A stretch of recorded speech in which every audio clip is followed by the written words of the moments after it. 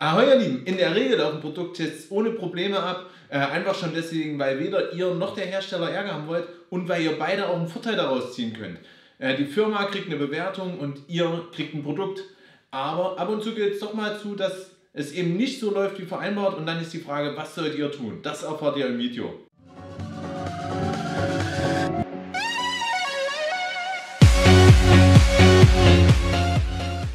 Ja, ganz ehrlich, das ist eigentlich ein typisches Facebook-Tester-Problem. Äh, wir haben jetzt schon mehrere hundert Produkttests absolviert und hatten dabei zweimal wirklich Ärger und das war immer bei Facebook. Auch die meisten Sachen, wo es so ein bisschen grisselig war, war eigentlich auch immer Facebook.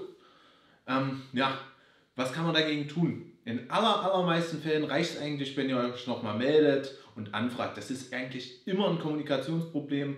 Äh, hier, wie sieht es aus? Wir haben unseren Test gemacht. Könnt ihr aber gleich mal per PayPal überweisen und ein Bild von der Transaktion zeigen. Das ist so eine Standardformulierung, das funktioniert eigentlich ganz gut und in den allermeisten Fällen ist es damit eben auch schon getan.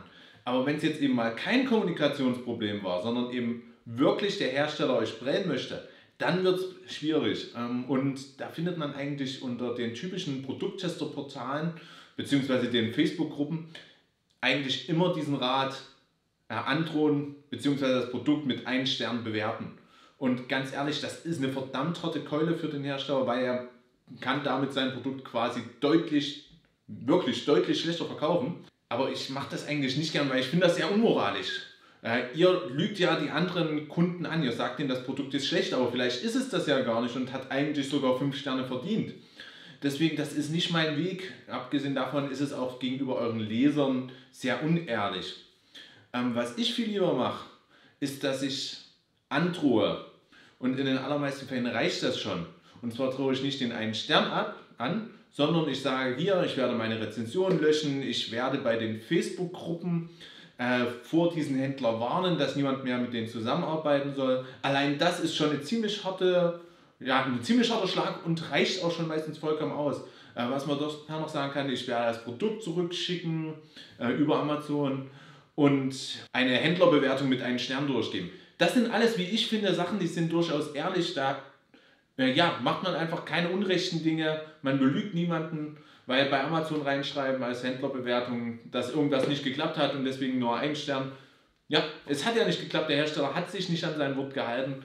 Also da tut man eigentlich nur jedem das Gerechte.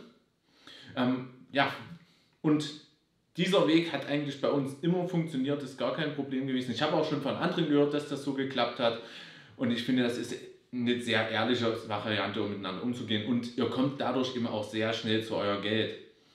Was ihr noch machen könnt, aber das ist wirklich erst bei sehr großen Produkttests, dass man sowas machen kann.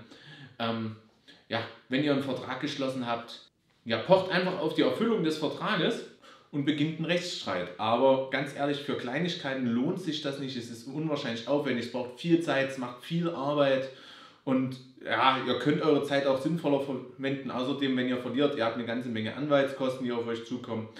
Es lohnt sich eigentlich in der Regel nicht. Wenn du dir jetzt gedacht hast, hey, ich bin clever und schreib direkt beim Amazon Support an, dass da mit dem Händler das nicht funktioniert hat wie vereinbart, muss ich sagen, stopp. Das ist eine ganz schreckliche Idee. Das ist das Dümmste, was du in dem Fall tun kannst weil nicht nur der Händler wird bestraft, sondern auch du. Amazon möchte keine Produkttester mehr auf seinen Plattformen, außer eben du bist Weinmitglied, dazu hier ein kurzes Video.